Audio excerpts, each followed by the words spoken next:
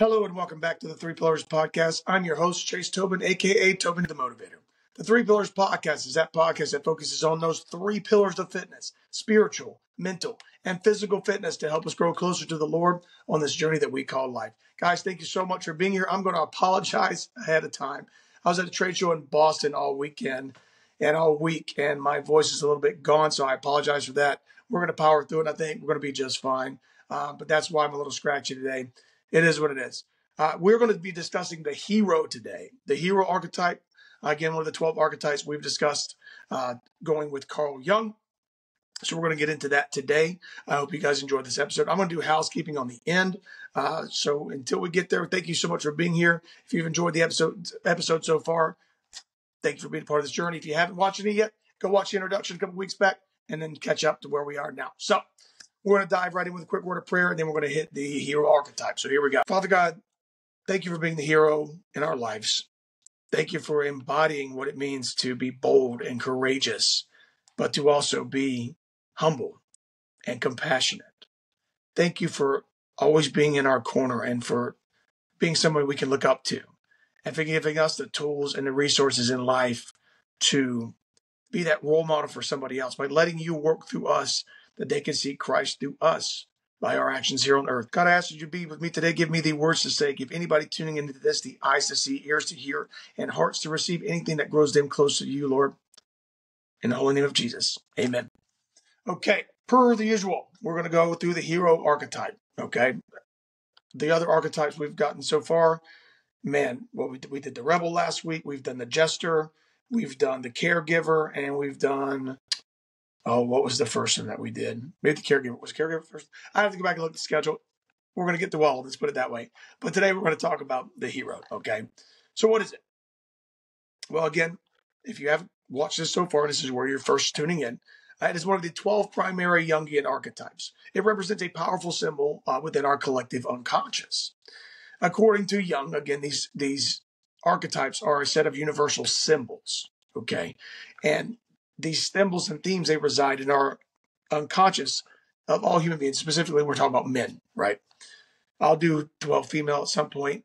And just like I said, I do the 12 female virtues. I'm gonna get there. I Got it written down, but this is what I'm doing for for this this uh, 12 weeks, right? Um, the hero he embodies qualities of courage, strength, and resilience, engaging in a journey that involves overcoming significant challenges.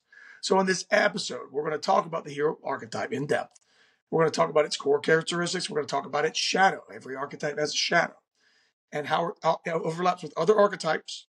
And then how can you optimize your archetype using your faith and your fitness? So that's the the template that I'm using throughout all these episodes.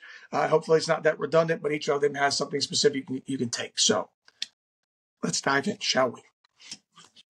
So, the core characteristics of the hero. Jungian archetypes provide this framework for understanding human behavior, motivations, and aspirations. The hero archetype is no exception. This, this, this archetype emphasizes attributes that drive a person toward achievements, overcoming adversity, and confronting inner and outer challenges. As an analysis of this archetype, we're going to use the five core traits that we've talked about before empathy, skills, independence, wisdom, and creativity, and how each of those kind of uh, reveals the nature of this, of this hero. Okay? So for assigning percentage scores, we're going to go empathy, 12%. Despite popular notions that the hero archetype is defined solely by physical strength and courage, empathy plays a notable, though smaller role in this entire archetype. Empathy in the hero manifests in the form of compassion towards others, a deep seated understanding of the suffering in the world, and a commitment to defending the vulnerable. Heroes and stories in, in real life often protect others, not merely for the sake of glory, but to a right uh, to, to right a perceived wrong and or some kind of injustice, right? It's their empathetic connection that fuels the hero's drive to engage in heroic acts. We talked a little bit about that with the rebel. Uh, so that you made there's a perceived injustice. We're gonna we're gonna get into it. Last week I used kind of Robin Hood. This week think of any any hero, Aragorn, right? But he's I'm gonna get to him. We're not we're not there yet, but um, he is a hero type. He sees that something's going on in the world, and we want to uh, to deal with it, right? So, number two at 5%, skills.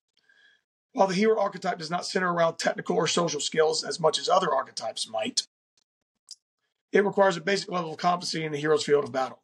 For instance, physical strength, combat prowess, strategic thinking, and even charisma are essential to the hero's journey. However, these are seen as a means to an end. These are tools that serve the hero's greater purpose rather than uh, defining the characteristics in themselves. Next, the second largest at 33%, independence. Independence is a core trait of the hero, defining much of his narrative arc. Heroes often set out on their quest alone, whether physically or metaphorically, to prove their worth, strength, and courage. We're going to get to the hero's journey another time, so this is a good segue for later. I'll remind you guys to come back and watch this episode. This trait of independence is not merely self reliance, but the hero's intrinsic need to seek their purpose without relying on others. Independence within his archetypes also, also closely linked to identity, as the journey often involves self discovery. Now, how many hero movies do you watch where the hero is truly alone the entire story? Very rare, but they usually start out on this journey alone. Sometimes you start out as a band, think like Lord of the Rings, or a fellowship, as it were. But the hero usually starts his journey on their own. But along the way, they're going to meet somebody, you know, that magician, that sage, that wise person is going to help unlock something inside themselves, or they're going to meet some other uh, kind of their. They might even meet their shadow at some point, and they have to overcome that, or they there's a love interest or something that's uh, all plays into the story that uh, into human existence, as it were. But at the end of the day, the hero is is a very independent um, person. Okay, the largest percentage at 39% is wisdom. The hero is more than just a warrior, he's also a seeker of knowledge. This search for wisdom is evident in the hero's journey. Where overcoming trials and facing hardships, it's going to lead to a deeper understanding of the world and themselves. Wisdom in the hero's context goes beyond mere intelligence. It involves discernment, moral fortitude, and the ability to make decisions under immense pressure. So to be a warrior, just like in uh, in Braveheart, right?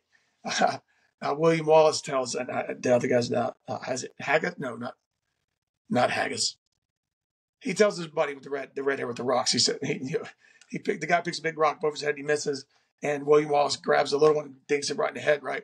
He says first before you can use this, the rocks, because you got to learn to use this. So be wise, be cunning. That's kind of the the attribute of the of this wisdom aspect of the warrior. And finally, at 2%, creativity. Creativity in the hero is, a, is minimal compared to other archetypes like the creator or the magician. Um, but heroes generally focus on execution rather than conceptual, conceptualization. While they may not create new things, they often adapt to changing situations creatively, showing tactical adaptability and spontaneous problem solving in crisis.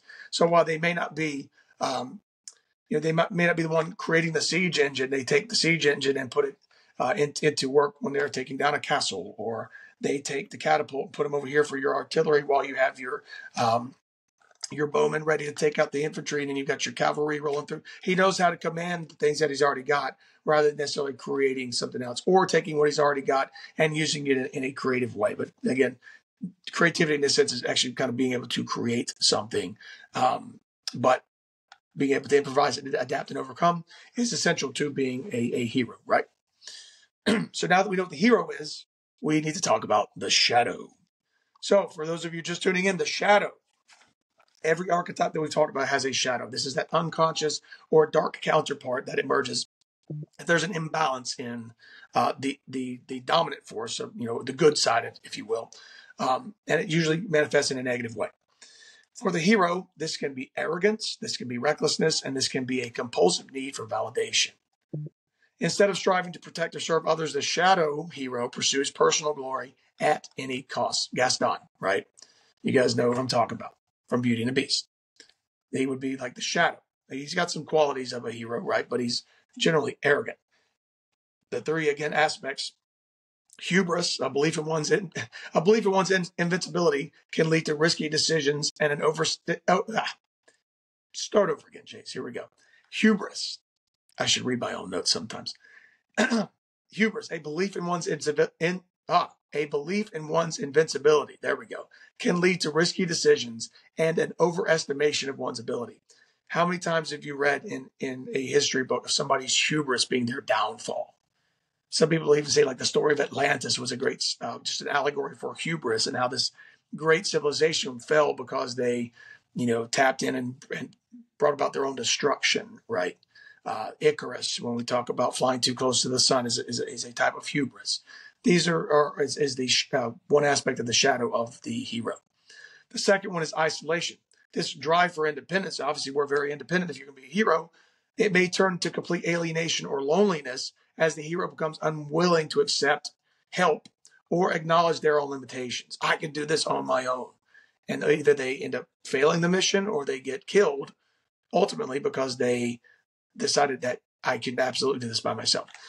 In the Marine Corps, they would keep you from isolating yourself because they wanted you to understand that no, you're not going to get through this by yourself. You have to look to your right and to your left. So a lot of these kind of lone wolf kind of hero movies, think about like The Witcher, right? Um, yes, Geralt, uh, Geralt of Rivia is a is a is a kind of anti hero, anti hero, whatever however you, however you play him as, right? But he's always got people along the way. But generally speaking, you're playing by yourself. But other like more successful heroes, now again, which is probably a bad example because that's just you know one guy in a video game, right?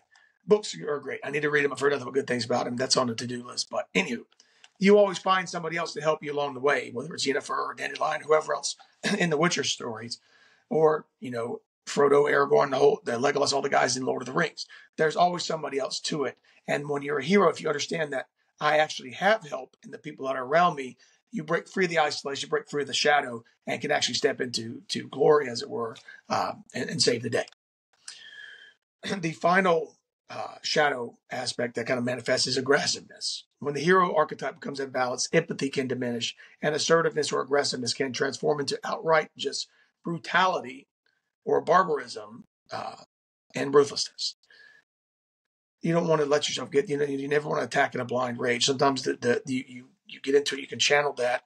That's one thing. But if you lose all empathy and compassion, you're not a hero anymore because who are you actually working for but yourself? When you acknowledge and it, it, when you acknowledge the shadow and you integrate it into your your psyche, you can understand. Okay, this is what I need to look out for. It's going to help you reach your full potential as a hero uh, and maintain a healthy balance because you know what to look out for and you know when these things start creeping in. It's not always just zero to 100. Sometimes it's just a subtle increase in either your hubris, your isolation, or your aggressiveness. Look at any of the ancient Greek heroes. They all, all were great as heroes until they got to be a ruler. And then they were all terrible rulers because their hubris got a hold of them. They weren't smart enough. They couldn't all they were good at doing was doing hero things. But then once people elevated them to kings, thinking like Hercules, ultimately they fell because they had nothing else to fall back on because all they knew was these great feats, and their hubris got got too much of it. Maybe people exploited them mm, because they knew that weakness. Maybe not. Maybe right. So how does the hero overlap with other archetypes? The hero archetype shares a very significant overlap with the warrior archetype. Duh. While both teams emphasize strength and courage, the distinction lies in their primary motivations. The warrior is driven by loyalty, discipline, and service to a greater cause or a leader, whereas the hero is driven by a personal journey of self discovery and moral development. So you see the difference that the warrior kind of works for kind of a group or a greater cause or some some leader at, on, on behalf of that ruler, right? Whereas the hero doesn't necessarily want to be a ruler at the end of the day. He's still got this warrior kind of attribute, but it's really about, okay, I want to do this uh, for my own personal edification, my own personal growth. Um, and you can use, you, you can grow personally and still be a good person. It's not saying the hero is a bad person at all, or, or, or that the warrior's good and the hero's bad. The heroes can most definitely be good because you go through this whole process where you want to be the best that you can be, but sometimes you got to go through these things and discover your limits. And then you can be kind of a warrior hero or heroic warrior, this kind of thing.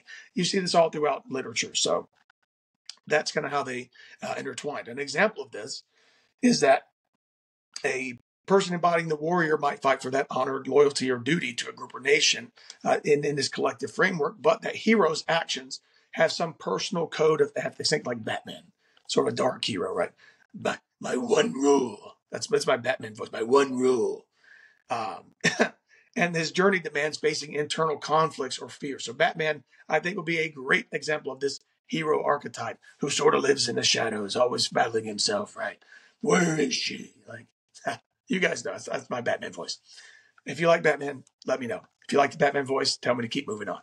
All right. Says it live, so I'm just going to keep going. Um, so, despite both these differences, these differences, both of these archetypes uh, share traits like resilience, courage, and a readiness to face danger. So, they they can truly be a force for good, but maybe their motives are just slightly off, right? Not not necessarily in a in a, in a negative direction, but they're just there's they, their motivation stems from greater good or personal discovery. So, how do we optimize the hero archetype in uh, using our Christian faith? So, the hero archetype it really aligns closely with biblical themes: sacrifice, redemption, uh, spiritual growth, all these things. Figures like David, who faced Goliath, or Jesus, who undertook the ultimate sacrifice, they exemplify this this hero's journey. So you incorporate them by, again, humility and servant leadership.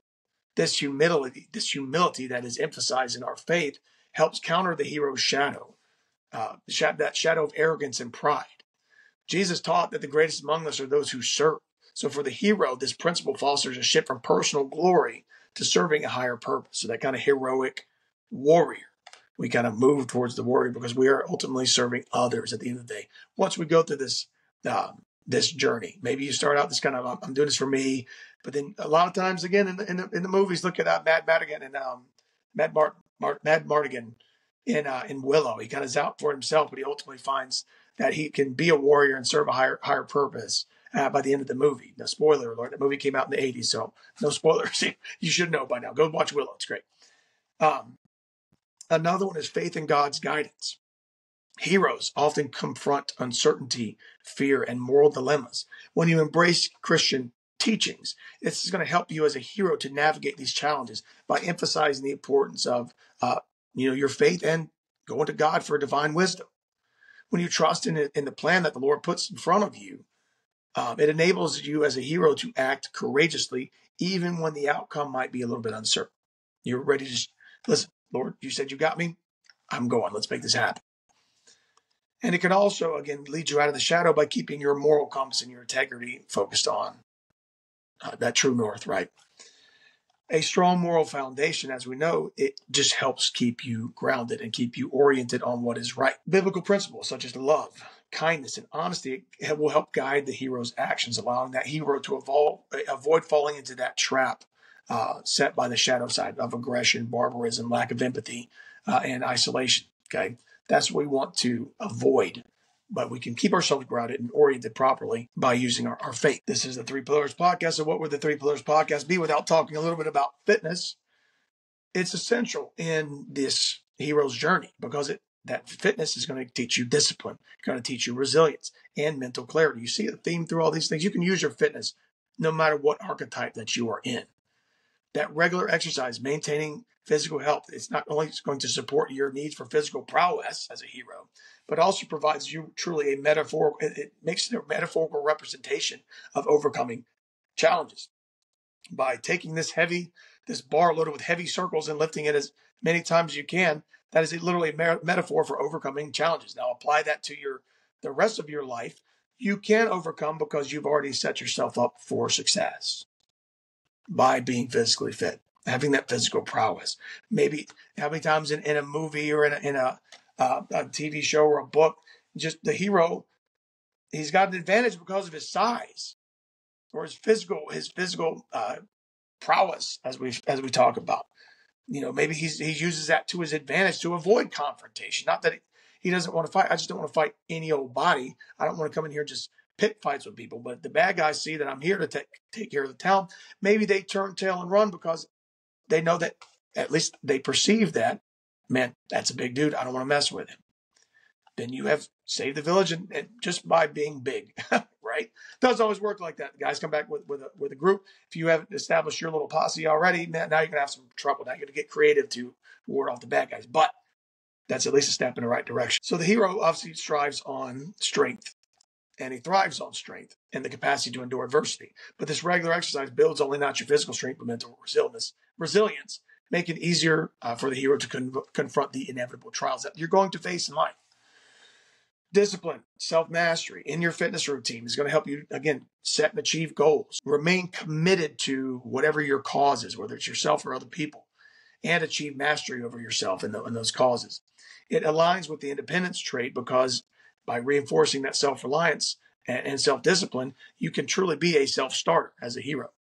Not necessarily self serving. That's what we want to get to throw the Christianity in there. We want to serve others, not be self serving. And again, if we talk about that body mind connection, this physical activity helps promote mental clarity and emotional regulation. This helps you in your hero's journey by reducing stress and promoting mindfulness. Take care of your body, make it as strong as possible. You only got to worry about the mind and the mental games that you might uh, deal with because your body can handle it. And if your body's taken away, now you still have a really sharp mind, but you have been able to uh, keep yourself as physically fit as possible.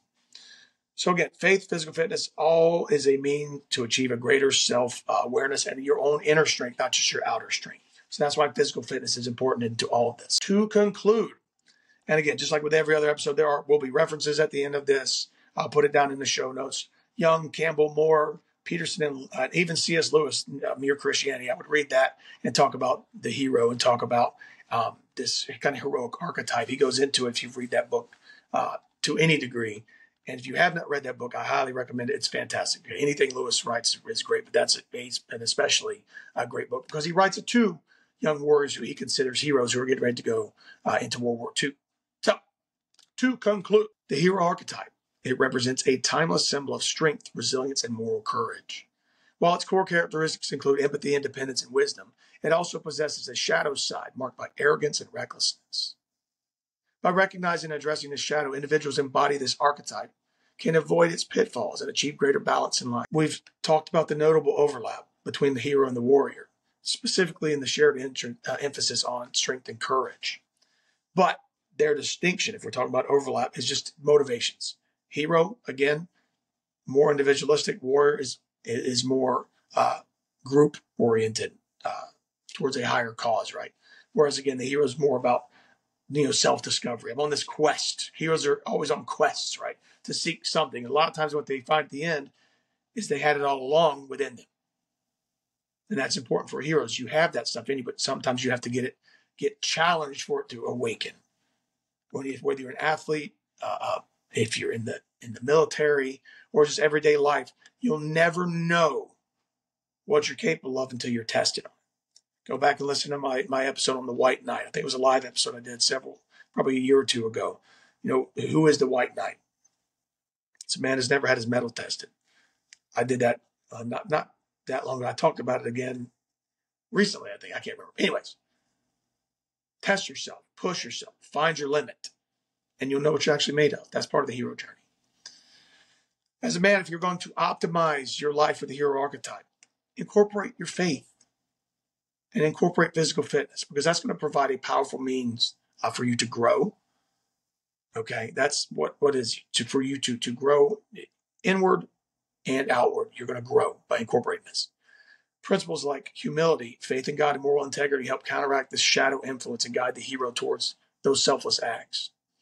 At the same time, physical fitness cultivates that resilience and discipline necessary for the hero's journey. When you embrace these practices, you as a man can successfully navigate the challenges of the hero's journey, becoming not just a symbol of strength, but a force for good in the world. It's what you do that defines you, right? It's not not the man in the mask, but what I do that defines me, right? If I'm going to go back to Batman, I probably butchered that quote. I haven't seen a Dark Knight in a long time, or Batman Begins in a long time, but what you do that defines you as a hero. Good to go. So that's all I got for you guys. I hope you've enjoyed this study so far. That was the hero.